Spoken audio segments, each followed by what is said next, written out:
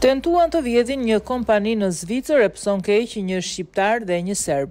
Të premten mbrëma dy persona u arrestuan pasi tentuan të hynin në një ndërtesë kompanie. Një dëshmitar raportoi në Qendrën e Thirrjeve të Urgjencës Kantonale e St. Gallen se ajo po vëzhgonte njerëzit që hynin në një ndërtesë kompanie. Më pas, ata ikën. Si rezultat i një gjuetie të iniciuar menjëherë nga Policia Kantonale, me ndihmën e Policisë Kantonale të Zyrihut, një mbajtës qensh dhe dron, dy burra më vonë u ndaluan dhe u arrestuan. Bëhet fjala për një tridhjetë e tre vjeçar shqiptar dhe një serb tridhjetë e tre vjeçar. Ata do të raportohen në Zyrën e Prokurorit Publik për ngjarjen.